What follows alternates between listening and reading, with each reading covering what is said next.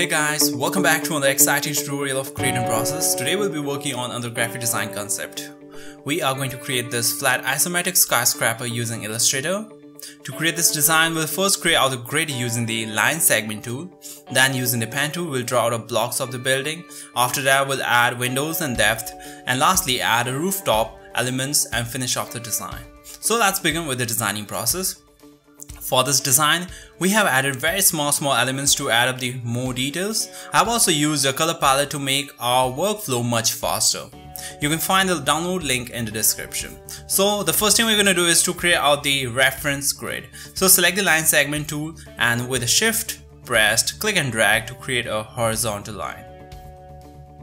Let's give it a blue color with a stroke thickness around 0.05 millimeter.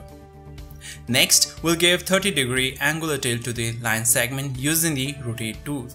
So double click on the rotate tool to open the rotate attribute panel. Here set the angle to 30 degree and click OK. Now we'll create our multiple duplicates of the line segment to create out the grid. So with the alt pressed, click and drag below it, leaving a certain distance. Then press Command or Control D to create our multiple duplicates of the line segment. Now select all the line segments and double click on the reflect tool. Set the axis to vertical and click on copy. This will make a copy of the segments in the opposite direction. Next, we'll place the grid to the new layer. So select the line segments, then add a new layer and give it a name. After that, click on this icon and drag it to the new layer. Let's reduce the opacity to around 40% and lock the layer. Now let's create the building blocks. So select the pen tool and draw out a perspective rectangle following the grid.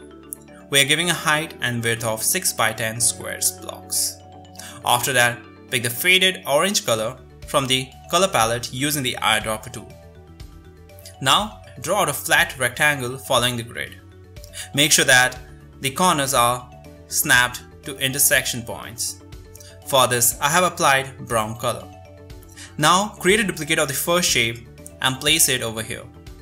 Make sure that the corners are aligned properly. Use the direct selection tool to edit the anchor points. Next, draw out on the shape using the pen tool to create the wall surface. For the roof surface, start off from this corner. Add one anchor point at this intersection then at the third point, straight up leaving 4 blocks.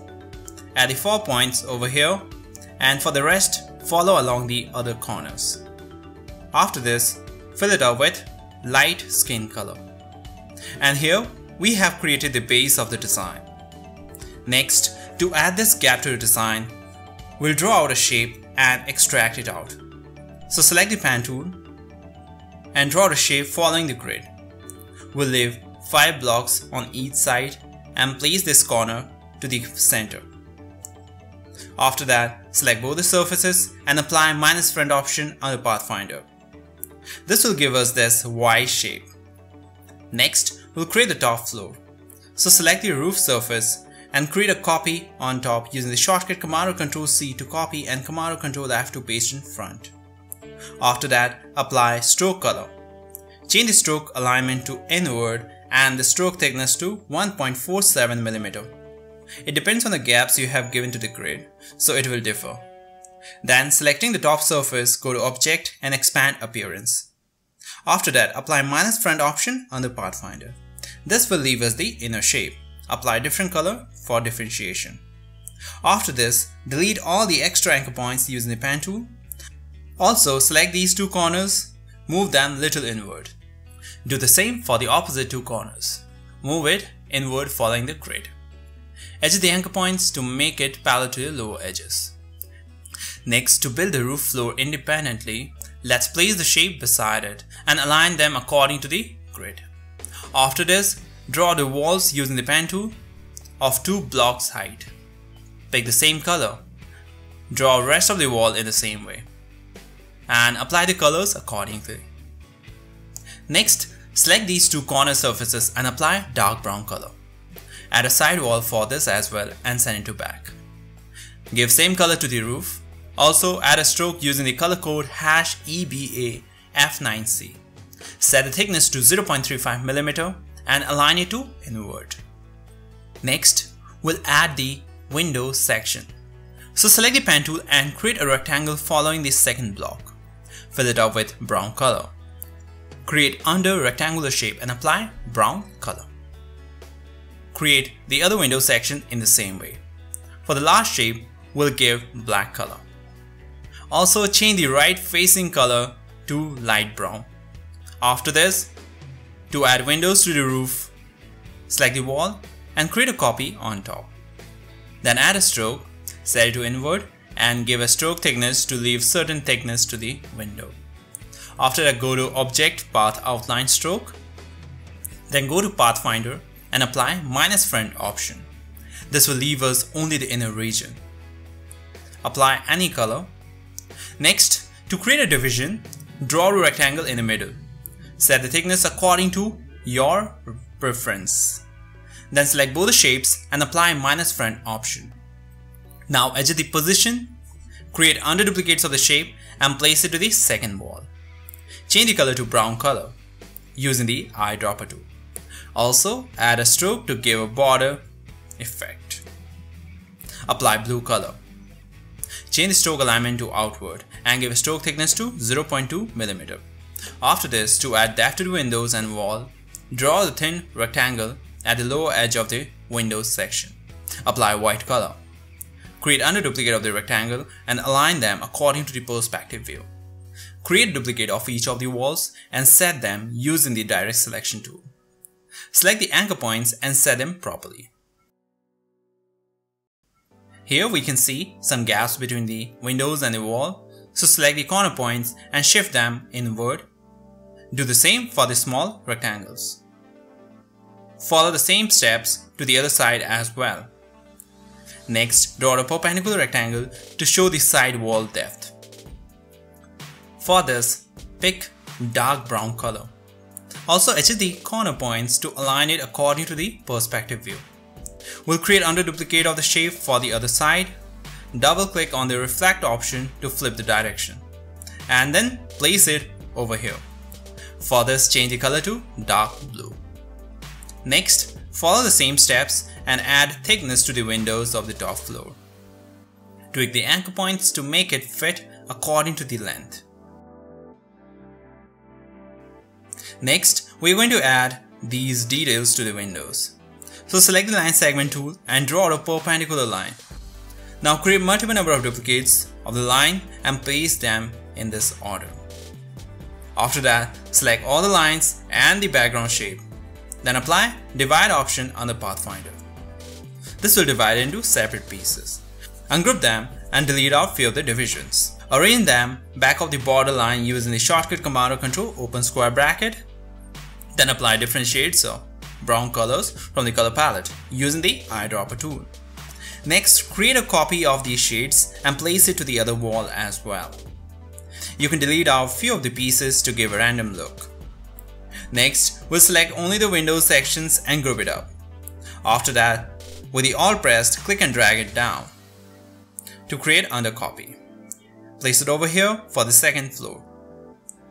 Next, create a copy of the rectangle for the back wall and add a small section of the windows on the second block. Next, we'll work on the rooftop. We'll be creating these air ventilator. So select the rectangle tool and draw a rectangle. Remove the stroke thickness and reduce the height. Now rotate the rectangle parallel to the grid. Then select the top two corner points using the direct selection tool and place them perpendicular to the view. In the same way, create another rectangle for the other side and adjust the side anchor points to perspective view. For the top surface, use the pen tool to draw the shape. After this, select the front surface and apply purple color. For the side shape, apply magenta color. Lastly, for the top surface, apply light magenta color. Now draw a oval using the ellipse tool. Place it over here and apply stroke color. Set the stroke thickness to 0.2 mm. give a slight angular rotation. After that, create another copy of the oval. Now select all the elements with the shift press and create another copy of the cuboidal ventilator. Next, draw a rectangle for the connector and adjust it according to the perspective view. Create under duplicate of it and use it at the top surface.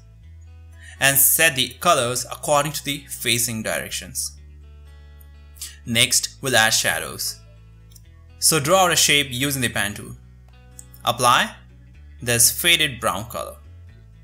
Arrange it to back with a shortcut Command or Control, open square bracket. Create another copy for the other cuboid. Now select all the elements of the air ventilator and group it up. Then create another copy for the other side of the roof. Next, we're going to be creating this hut-like structure on top. For this, we'll be using the pen tool and draw the side shapes. It's the small tiny details that make our design looks great. Let's apply black color, create another copy, then draw the roof and the front wall.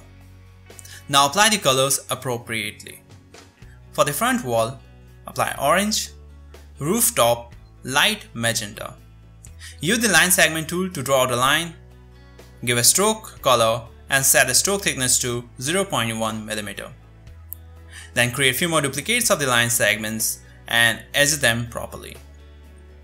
Now create another duplicate of the structure and draw a shape for the shadow using the pen tool. Apply faded brown color and do the same for the other side as well. Now we'll group up each of the floor. For that, click and drag to select all the elements in the top floor and group them up. We're gonna place it on top. So arrange it to front and place it leaving a block area on all sides. Now to add a drop shadow for the top floor, draw a shape using the pen tool covering the region where you want to add shadows. Then double click on the second floor to go inside the group. Select the floor surface and use the shortcut Command Control C to copy. After that, come outside and paste it to front using the shortcut Command Control F. Now select both the shapes and apply intersect option under Pathfinder.